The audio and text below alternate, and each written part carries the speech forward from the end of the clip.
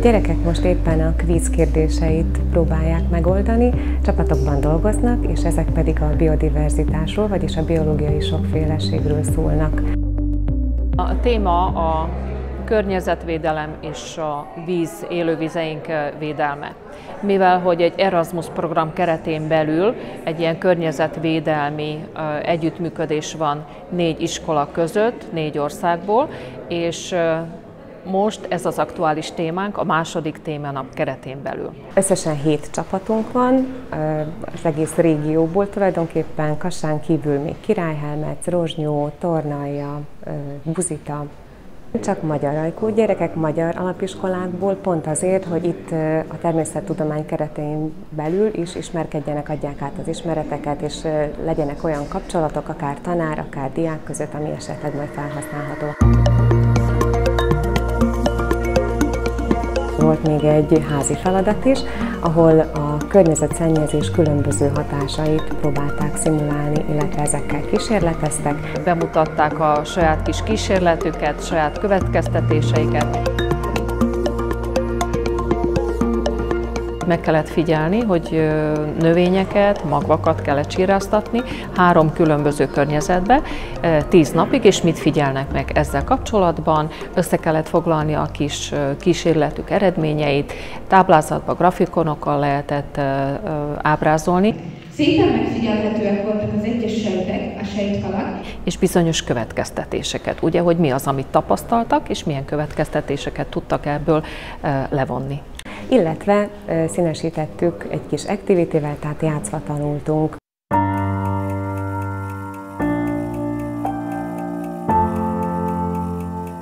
Különböző termekben különböző foglalkozások folynak, van, ahol játékos kérdőív, illetve van aztán egy előadás egy olyan szakemberrel, aki vadász, erdész, természetbarát és a, a falok kihajás, kihalásával kapcsolatosan mond el dolgokat.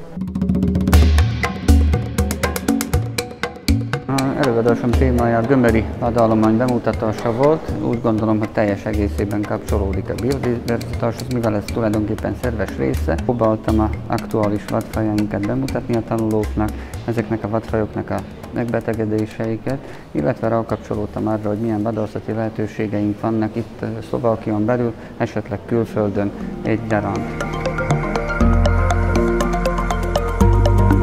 Többek között a gyerekeknek egy rajzversenyt is hirdettünk. Én úgy látom, hogy évről évre eh, jobban, bátrabban, eh, színesebben és hozzáértőbben állnak ki a gyerekek a prezentációikkal, a diasorukkal, és nagyon élveztem az előadásaikat. Mm, teljesítették a feladatot, el kell, hogy mondjam, amelyek házi feladatra voltak adva, a következtetéseik helyesek voltak, a felvetéseik, hogy mi az, amit ők, mint gyerekek, mint fiatalok a környezetükben, családjukkal, iskolában tudnak tenni a környezetvédelemért.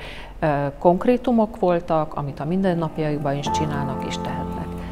A verseny első helyzetje a Tornajai Kazinci Ferenc Magyar Tanítási Nyelvű Alapiskola csapata lett. A legnehezebb feladat az szerintem, amikor kísérleteznünk kellett, azt eléggé nehéz volt megoldani. Viszont ahogy összedolgoztunk, úgy eléggé jól ment és jó kedvel megtettük. Érdekesek voltak a feladatok, sok dolgot megtanultunk belőlük, hogy hogyan síráznak a növények, hogyan kell ültetni. A második feladatban ment nekem a legjobban, amikor a környezet szennyezést kellett bemutatni, hogy hogy mutatkozik meg, ez volt a sóoldatos feladat. Az ötlet igazából a kémia és biológia szakos kollégáktól ered, 11 néhány éve csináljuk ezt a versenyt, és úgy gondolom, hogy egyre aktuálisabb, és egyre jobban érdekli is a gyerekeket és a tanárokat is. Nagyon élveztük a felkészülésüket, hiszen össze tudtunk ülni, hülyéskedtünk is közben, jól éreztük magunkat, és illetve itt a versenyen is jó volt a hangulat, jól éreztük magunkat. Lényegében a jövőt jelenti nekünk a környezetvédelem, hiszen nagyon fontos, hogy a mi gyermekeink, illetve unokáink is szebb világban élhessenek.